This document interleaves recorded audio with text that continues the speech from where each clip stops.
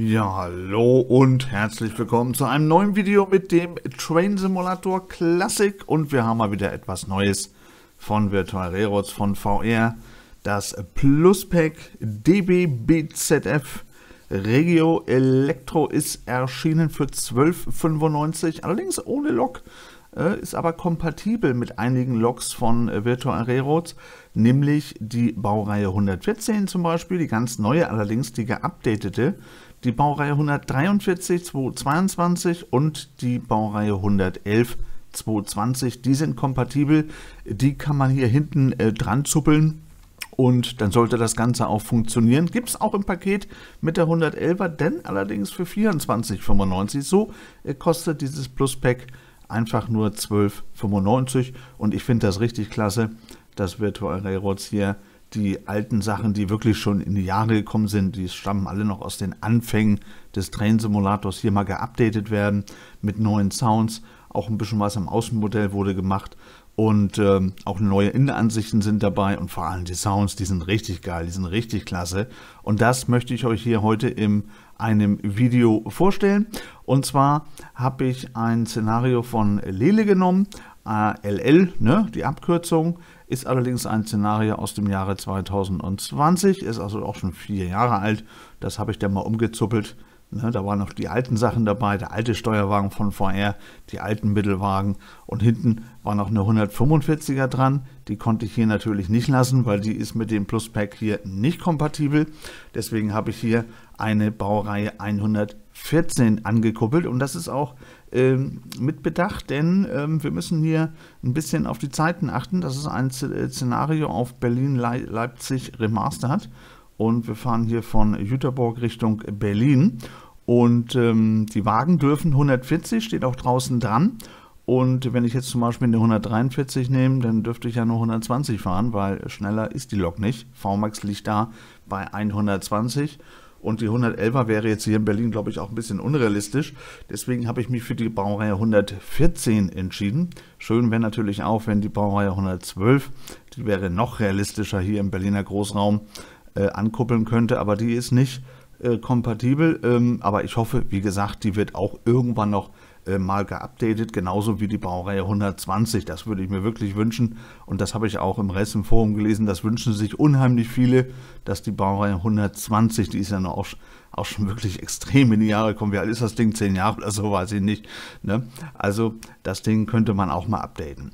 So, das Ganze möchte ich euch hier mal vorstellen. In 20, 25, 30 Minuten, je nachdem wie weit wir kommen. Bis ganz nach Berlin fahren wir jetzt nicht. Das dauert äh, Stunde, 20 Minuten, 80 Minuten oder so. Das ist jetzt ein bisschen lang vielleicht für ein Vorstellungsvideo. Wir werden hier einige Bahnhöfe ansteuern.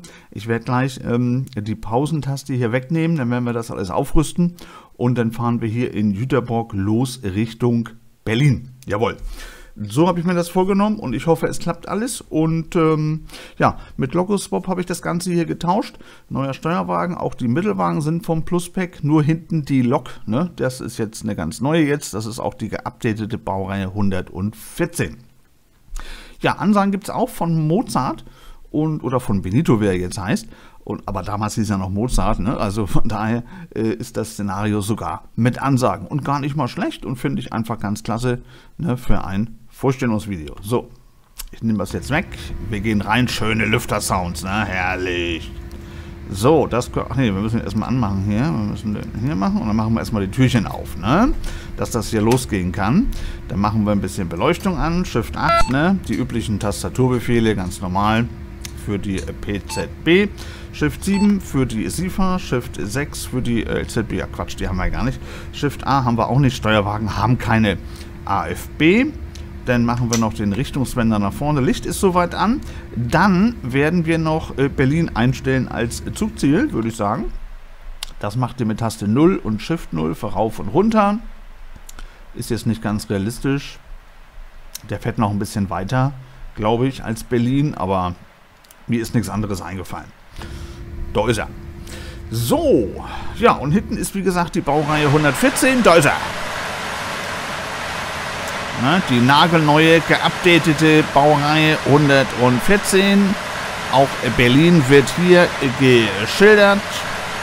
Das ist sehr, sehr schön hier in Jüterborg. Boah, ist das laut vorne. Wow. Ja, neue Innenansichten haben wir auch hier, ne? Auch mit schönen Sounds und so. Also, das ist alles ganz wunderprächtig. So, da kommt hier auch noch was rein in Jüterbrock. Ja, und die Bauer 114 hat den Vorteil, die fährt nämlich auch VMAX 140 und die Wagen dürfen auch ähm, 140 fahren. Ich zeige euch das. Ähm, wo steht das dran? Wo habe ich das gelesen? Da. Da steht's. 140 dürfen die Dinger. Und ich hatte erst versucht hier mit der Baureihe 143, aber das ist ein bisschen blöd hier dann die, ähm, den Fahrplan einzuhalten, weil die fährt nämlich nur 120 und dann kriegst du, kriegst du Probleme hier. Ne? Also ähm, von daher ist jetzt die Baureihe 114 hinten dran und ja, ich denke, das sollte hier alles funktionieren, will ich zumindest hoffen. Ja, sich auch ein bisschen was getan, glaube ich, von der Farbe her und auch hier so vom Führerstand her. Ne, kann man hier auch Fenster aufmachen? Ja, kann man auch. Jawohl. Fenster kann man aufmachen, hier mit Sound sogar. Das ging beim alten, glaube ich, auch nicht, ne? Ja, natürlich Rollos rauf und runter, schön mit Sounds, herrlich. So muss das sein. Da drüben ist noch ein Feuerlöscher. Ah ja, gut. Ja, ich lasse den Sound auch mal ein bisschen lauter. lauter ne? mein, mein Gesabbel ist ja für hier völlig uninteressant. Sondern wir wollen jetzt mal ein bisschen heizen hier, ne? So, dann wollen wir mal aufschalten hier. Jawohl, macht er.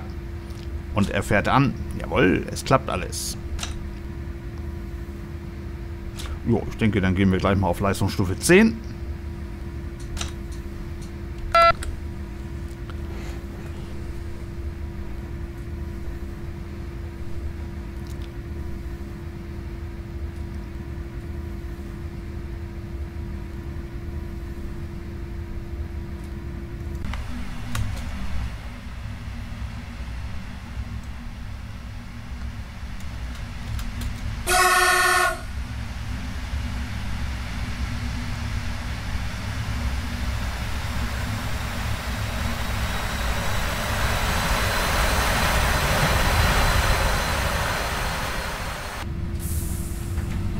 Ist nur ganz wichtig, wenn ihr umzuppelt, die 114 könnt ihr kalt, aber auch warm ähm, spawnen bzw. hier ankuppeln. Natürlich habe ich die heiße genommen, die warme, die schon aufgerüstet ist.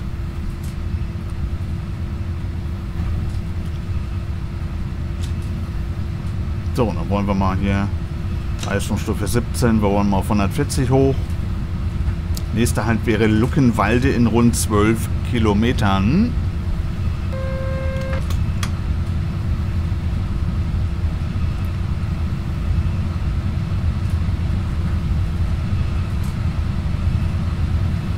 Schöne Rollgeräusche. Die gefallen mir richtig gut.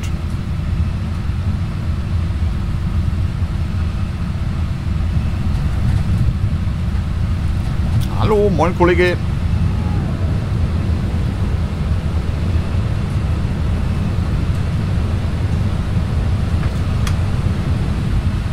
Ja, aber dann ist hier bei 140 ist dann Schluss. Dann haben wir unseren VMAX erreicht.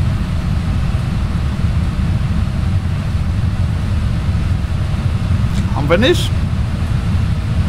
Der ist ja sogar schneller.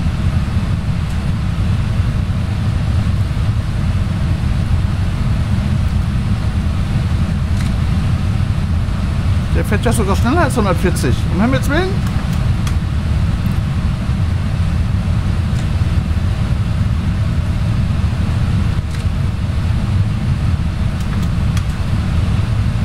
Oder habe ich jetzt die erwischt, die 160 fährt? Gibt auch, glaube ich, eine 114er, die 160 fährt, ne? oder? Aber die Wagen dürfen nur 100, 140.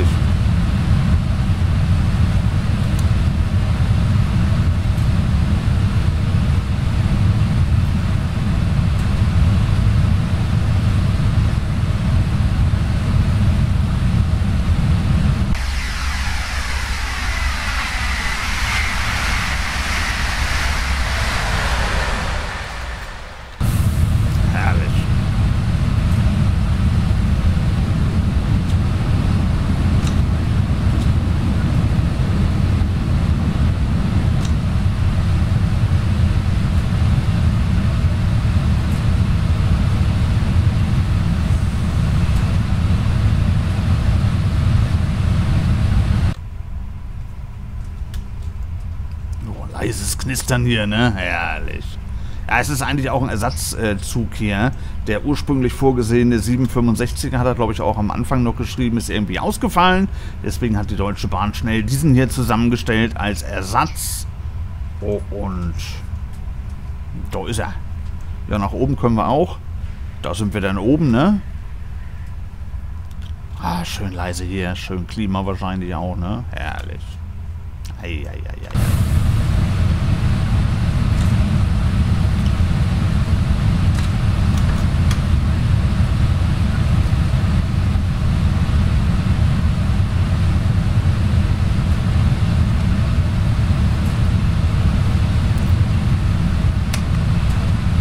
Wir lieber ein bisschen Pultbeleuchtung an, finde ich schöner.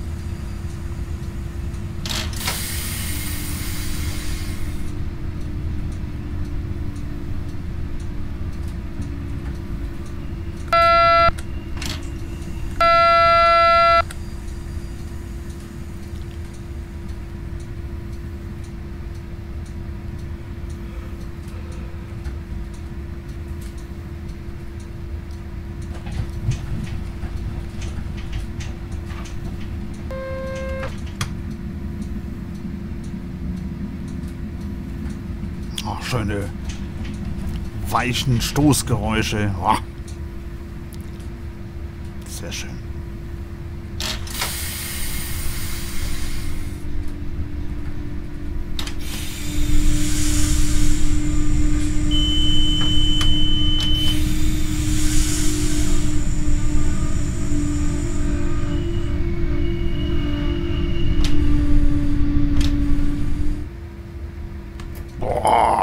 Was für Bremsen-Sounds, ne? Da träumt der Papst von. Ich dreh durch hier, echt. Ja, wir haben HP 0, da kommt wohl noch was. Oder es, es gibt eine kleine Überholung. Wann geht das hier weiter? Um 42 geht das hier erst weiter, also in einer Minute etwa. Könnte sich noch verzögern. Verzögerung im Betriebsablauf nennt man sowas. Wahrscheinlich. So, 500er Leuchtmelder ist an hier. Wechselblinken ist auch an, also nicht schneller als 25 über das Signal drüber, auch wenn es grün zeigt. Ja, da kommt glaube ich was, ne? Oder? Kommt da was? Kommt da was? Da kommt nichts. Doch, da kommt was. Da kommt ein Intercity, aber der fährt da auf der anderen Seite. Das dürfte nicht der Grund sein für unsere, äh, für unser HP0. Äh, sondern da müsste hier was kommen. Da müsste was kommen. Da hinten ums Eck rum oder so. Keine Ahnung. Hier noch ein ICE 4. Also der dürfte jetzt eigentlich äh, nicht der Grund sein. Naja, warten wir ab, was da noch kommt.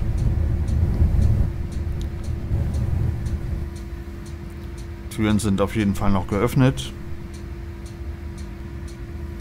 Ja, gerade wenn man die ganzen Loks hat, ne, ist das äh, Angebot hier äh, nur für die Wagen und den Steuerwagen für 12,95 akzeptabel. Und dann hängt man sich eine der drei kompatiblen Loks hinten dran und schon hat man ein komplettes Zugpaket, ne?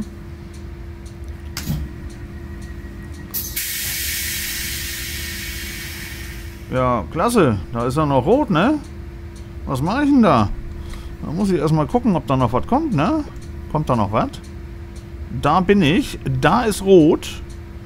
Und äh, ich habe keine Ahnung, was hier passiert. Da ist der Intercity, genau. Ach, hier kommt noch einer. Ein Militärzug kommt noch. Ach du liebe Zeit. Ein Militärzug kommt noch. Ein Militärzug. Ach, ein Güterdings, der Bumster. Hallo.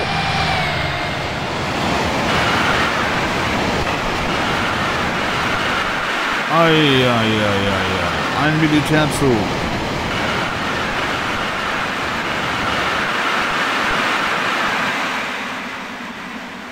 Ja. Ja, Kirche im Dorf darf, darf auch nicht fehlen, wie immer. Ja, da stehen wir. Okay, jetzt sollten wir aber gleich Ausfahrt bekommen. Obwohl, wenn wir so einen langsamen Güterzug vor uns haben, ist das ja auch eine, eine, eine doofe Sache, ne? Weil, ähm, da kann ich nur hoffen, dass wir gleich noch irgendwo halten müssen. Wo müssen wir denn als nächstes halten? Woltersdorf in drei Kilometern. Jo, das ist doch perfekt. Das ist doch perfekt. Bis dahin ist der, ist der Militärtransporter eh weg. Schätze ich mal. Ja, früher der alte Steuerwagen, der jetzt ja schon in die Jahre gekommen ist, zehn Jahre oder so, keine Ahnung, wann äh, VR den released hat, der war tot im Stand, im Stand, im Stillstand. Der war einfach tot. Da hast du nichts gehört, ne? Und hier schön ne, das Klackern der PZB, das Wechselblinken, schöne Lüftergeräusche. Herrlich. So liebe ich das. Aber ich kann es nicht oft wiederholen dieser Steuerwagen mit den Wagen ist nur mit drei Loks kompatibel. Mit der 114 die neueste, mit der 143 die neueste und mit der 111er die neueste von vorher. Und mit anderen Sachen müsst ihr, testen und gucken, aber da gibt es keine Garantie. Ne?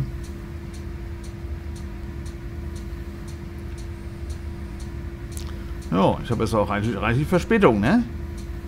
Reichlich Verspätung. Der Zug ist durch. Ich habe immer noch HP 0. Was ist denn das? Verweigert. Jo, dann kommt dann vielleicht noch was. Ich weiß es nicht. Keine Ahnung. Spieler zentrieren. Da stehe ich immer noch. Logischerweise.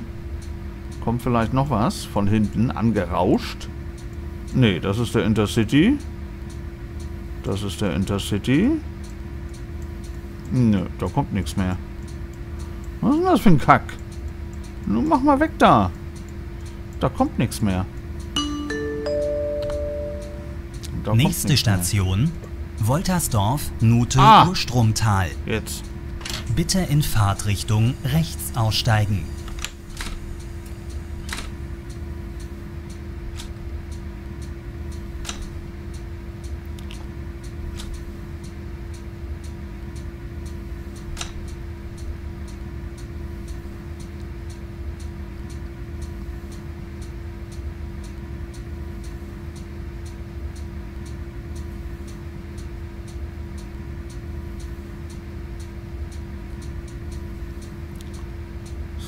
darf ich hier aber nicht mit schneller als 25 drüber. Ich habe noch einen roten Leuchtmelder an.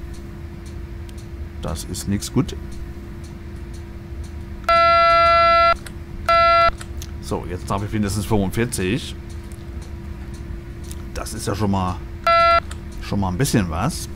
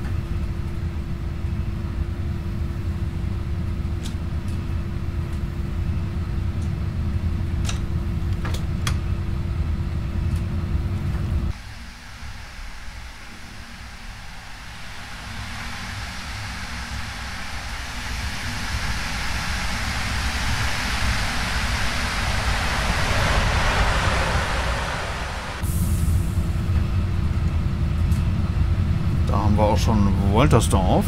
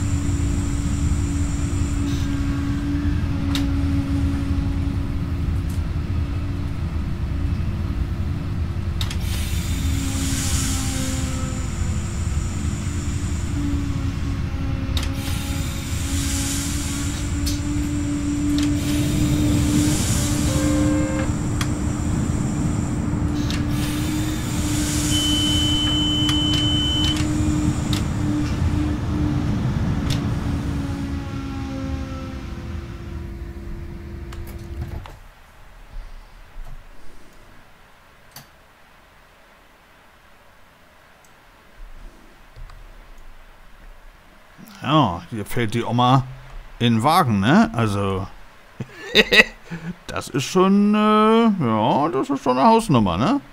Trittstufen gehen auch nicht raus. Hat er auch Trittstufen? Nee, ne? Die gehen nicht raus, ne? Sowas gibt's hier nicht, ne? Aber immerhin, ich meine, das ist ganz schön. Das ist ganz schön. Beziehungsweise, wenn man hier drinne ist. Ja.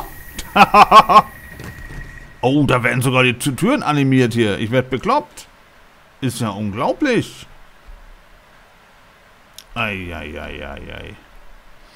So, dann können wir abfahren.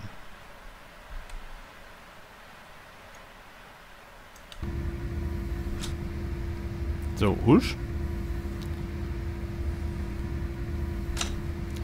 Nächster Halt ist äh, Trebin.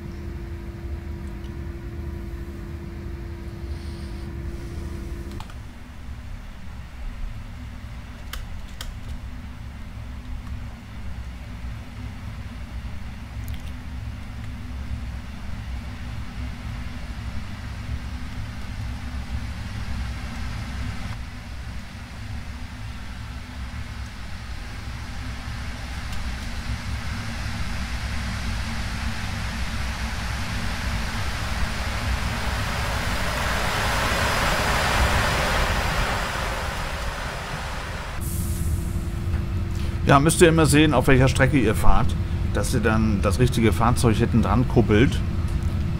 Wegen der Geschwindigkeiten. 143er fährt nur 120, 111er 160, 114er in der Regel eigentlich nur 140.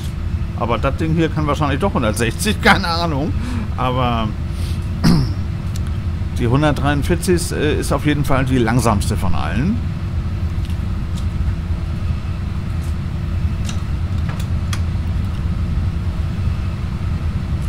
So, nächster Halt in 10 Kilometern.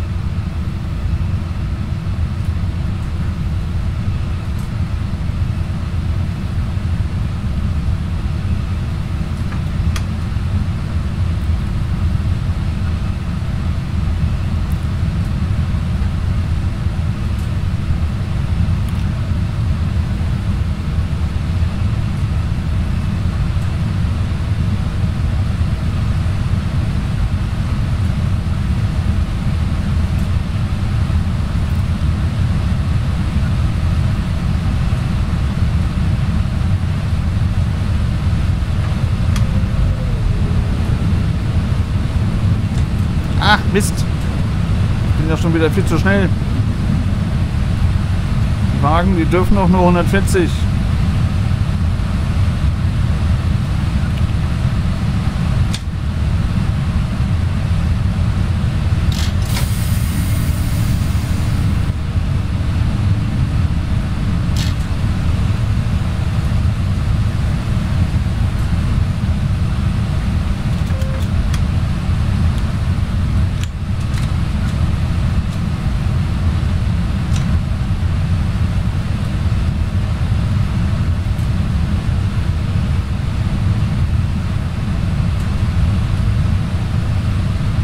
ich habe hier rund 70 FPS. Also auch das Fahrzeug ist extrem performance-sparend. Station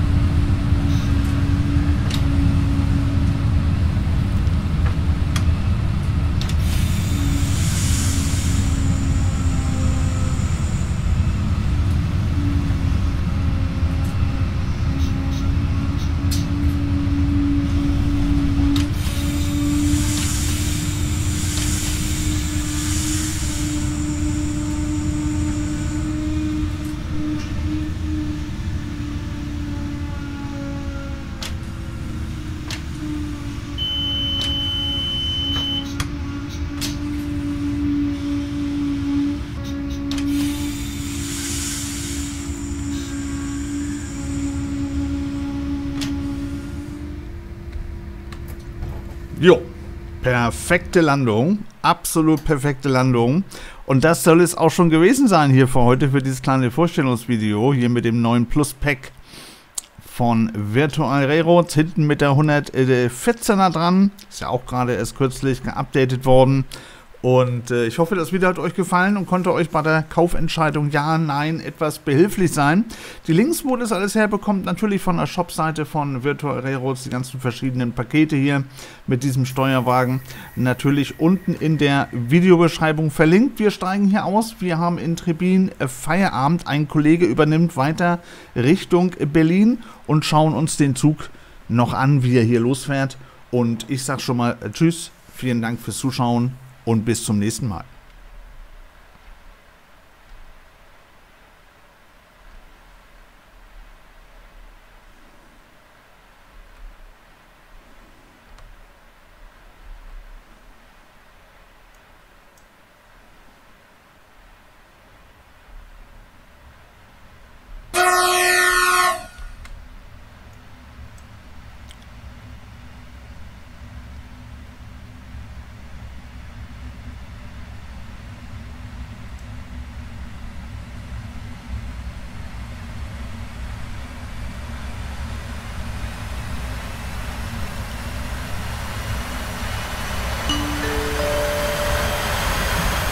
Nächste Station Tyro.